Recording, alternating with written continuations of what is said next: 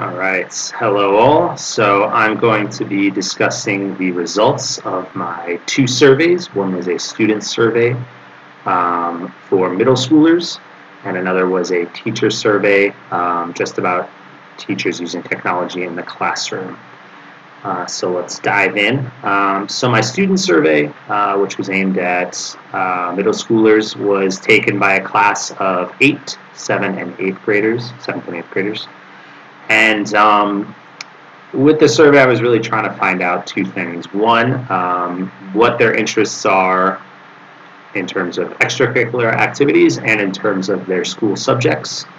And um, another was to get a sense of their home situation in terms of uh, family income and access to technology and just kind of what their life is like inside the classroom. So with the first part, um, with discussing their their interests. Um, I had three questions, um, one of which was just what are your favorite subjects? Um, another was what after school clubs they attend. And then another was just what their interests are um, outside the classroom. So a lot of interesting stuff, actually, not exactly what I expected. Uh, with their interests, um, there were not a lot of commonalities. Um, there were two students who had video games, and then everybody else had something different. Uh, it really is kind of a wide range of interests. One student wrote comics and drawing, another wrote music, another wrote swimming, another wrote football. Um, so it's kind of a broad range of uh, personal interests, which I think is great because it means that um, there's kind of a lot we can explore in terms of what topics I cover and what activities I do in the classroom. There will always be somebody that might be able to kind of take the lead and really show an interest, and uh, it kind of opens up the class, I think, in that way. Um, the same uh, results I saw in terms of after-school clubs. Six of the eight students were in after-school clubs, and again, uh, pretty broad range of subjects there. Uh, English club, art club, chess, uh, different sports, so that was also really cool. And um, so while I saw a lot of variety in their extracurricular interests, their subject interest actually um, was a very different result.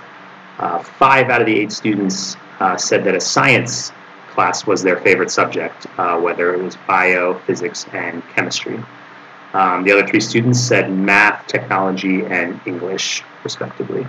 So since I work at a school, it's a language center that um, really puts a big focus on project-based learning using STEAM subjects.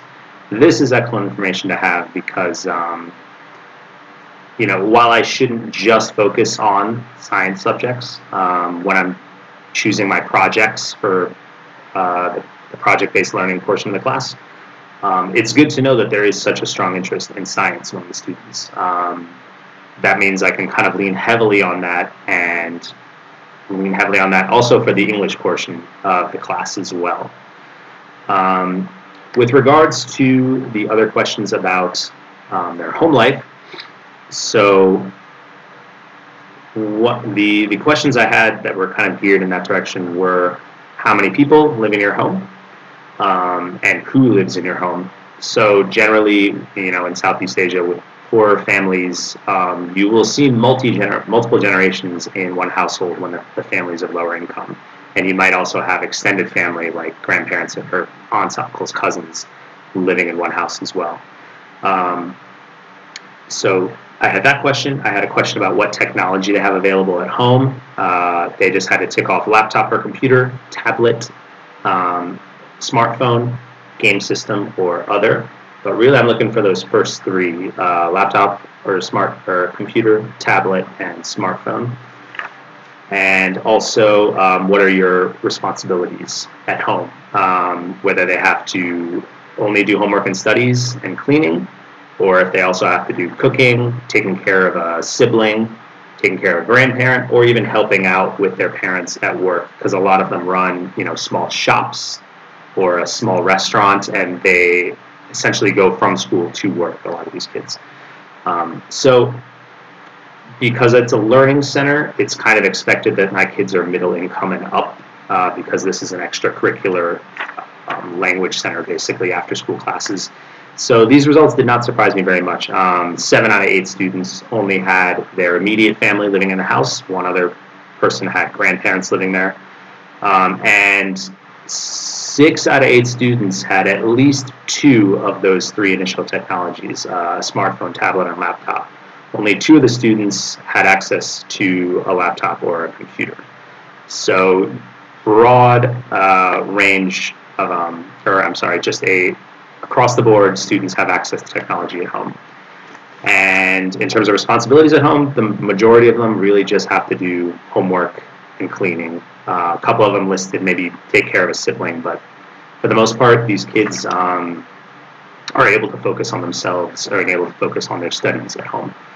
So what this tells me is I can maybe give a little bit more uh, tech-focused homework. If these kids are able or have access to a tablet or a smartphone at home, and they all do, then um, I can give something a little more uh, interesting. I can find an app.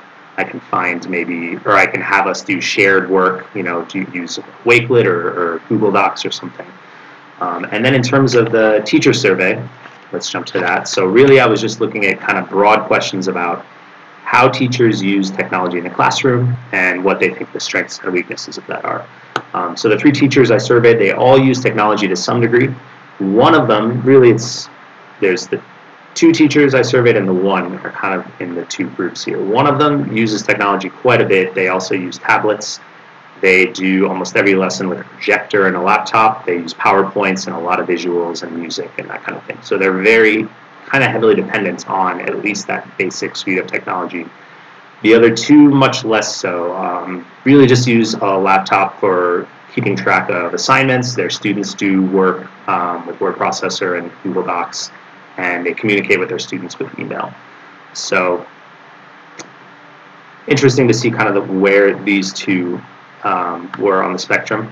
Um, the one who is heavily dependent on technology, I asked the question that was, what are some hindrances uh, of tech, using technology in the classroom? And she said, basically, if the power goes out or internet goes out, she is really in trouble, uh, has to completely reform the lesson. Whereas the other two said that the hindrance from technology was really just about when they bring technology into the classroom, there can be a bit of distraction, or um, one of them actually said that playing a video every class created an unrealistic expectation in their students um, in that they always expected a video and were disrupted when they didn't get one. So some interesting responses there. And then uh, my last question was just um, basically a broad question of how you generally feel about technology in the classroom. Is it an overall positive or an overall negative? And all three of them said that it was an overall positive, despite some of the you know kind of minor drawbacks. It can be a distraction. Kids can use it to access games or get off track. Um, there can be problems with the technology. Um, overall, they said it was definitely a positive and added uh, a lot of kind of dynamism to the classroom. So that's it for my surveys. Thanks very much for listening. Bye, guys.